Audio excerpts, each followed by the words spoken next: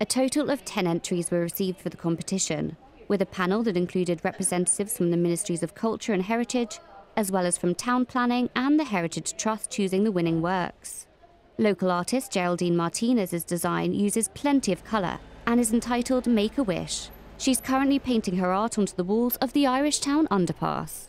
I thought I would submit some designs because I wanted to support the initiative. There had been some negative publicity towards the Inces Hall facade and um, mainly because the person wasn't even local and I thought, you know, I'm an artist so I, I should support this and so this is what I did and never expected in a million years that I would be doing this right now. So how did you come up with the concept? What inspired you? My recollection of Gibraltar as I was growing up was, was very different as, than it is today. And this is a response to how I feel about Gibraltar today. There is a lot of pollution in the air.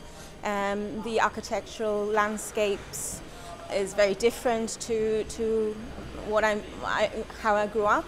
Um, the heritage value of Gibraltar, I feel, is being lost more and more so um, as it struggles to complete, compete with, with, with the architecture nowadays. And um, I don't feel it is at, it's as aesthetic as um, it used to be. Um, and this is just a reflection of how I, of, of my thoughts, of how I feel. So you're on day four, I believe. How's it going? What's it like working with members of the public walking by? I thought it would take me seven days. I'd allowed myself seven days. I'm, I'm quite a fast worker, so um, I knew that I would get the paint on the wall pretty quickly. Um, but obviously, once you start to, to, to do the more intricate um, things off the of the design because you're working layer upon layer. In fact, I'm gradually building up. I'm realizing that that was a little bit too ambitious. So maybe between 10 days and two weeks per mural because I'm doing both both walls. Um, in regards to the public, they have been absolutely amazing. I've been overwhelmed with with positive support.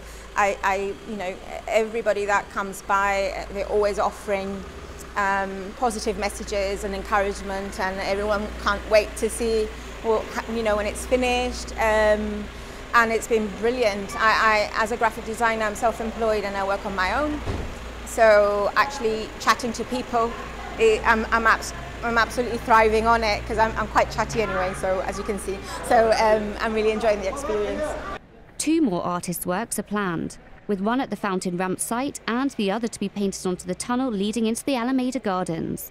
Keep an eye out for them in the future.